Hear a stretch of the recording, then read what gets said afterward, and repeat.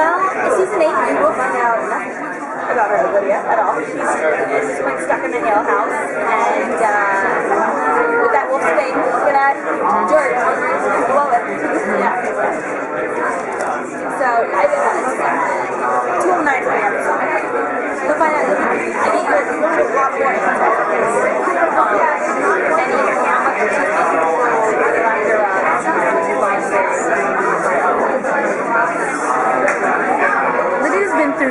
Much this season, you know, going going through things.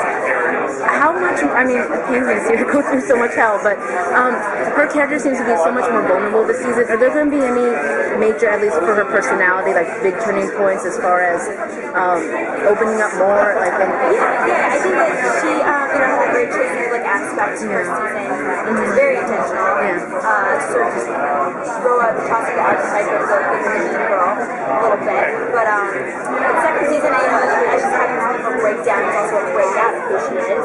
And I think you know, when you see who they are. I love the scene with um, Jackson. Um, a very normal high school girl scene where this guy is horribly, you know, still I absolutely detest that girls feel people do that, but they do, I do, and so I um I liked that Jeff let us balance these supernatural with boys very high school novels, and uh, so there's moments like that where I think you see Lydia's true character when no one else is looking, you see how much she truly does love dancing, and uh, it's almost like they put a facade on themselves to do the job, and uh, that was one of the first times I saw what she truly thought about. How uh, worried Tyler be about Lydia at this point? It is tough. I mean, really don't know her intentions. I mean, she might really like the idea of being able to control everybody and like wherever it is in. So it, it'll be interesting to see how it plays out. I think a lot of it plays out in season two with even more in okay. Yeah, I mean, lines are definitely drawn, and, and Lydia has like one side, you know, one side on each side. You guys just got a supersized season three, 24 episodes. Is- What have they like? Have they told you much about? I mean, you just mentioned that stuff is going to happen in season three. How much have they told you about season three? We find out like before we shoot each episode what's going to happen. They don't they don't say much as far as like you know, the overall art. Um, so it's, it's definitely a fly by the seat of your kind of thing, um, which is which is fun. I mean, everybody has their own style of working, and, and, and yeah, ours is like we just get to find out what we can find out. Like. So I mean, you kind of have an idea of how the movie is going, and uh, we get like little tidbits here and there. Yeah, I think um, you know as far as how she's natural, so I think she their dire turn in life. I think is the most important. That portion of probably takes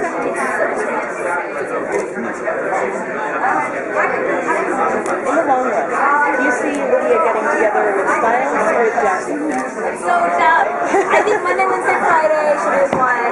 And, you know, um, Lydia probably would coordinate like a gold star first grade um, but I really like the witty banter, really fun with Dylan as actor.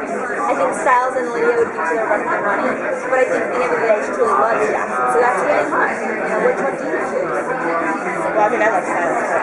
I know everyone. I've got I've gotten all the hybrids, the Gidia and the like violets or whatever.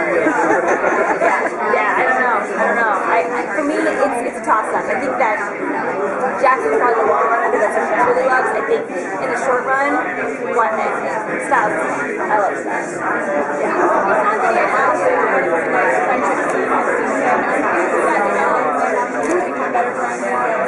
Hints, I think we're Lydia lies. and how much she's going to choose to tell people where she lies. So she might keep up like a friend of me kind of thing. Um, it might be a friendship either way. It's it's a real friendship or not. But yes, that's that's Jeff's territory. But I don't know. That's if I had to guess. I think that's a person. Keep cards to her. Do you think there are any upper limits to Lydia's intelligence? I mean, we just found out recently, like, she knows arcade, arcade math, because everyone does. Yes, but I mean, Right. whenever, whenever anyone needs to know something smart, she seems to be there. So do you think there could be upper limits? You know, that's that's really, I said when we let's recently with uh, Bradley Cooper, and I loved that that idea. So I mean, I would be interested to see what would happen if some sort of uh, supernatural element. I, I, I, um, I guess. I, uh, I would like, I personally think would. I think she might be a good leader, you know. Too bad, uh. Oh, no, I was going to ask about. I, I really like the way Lydia and Allison's friendship has been like evolving because you know she has a secret side. Without giving too much away or whatever you're allowed to say, what can we expect as far as their relationship this season? Now that now that Lydia has a huge. It's really going to depend where she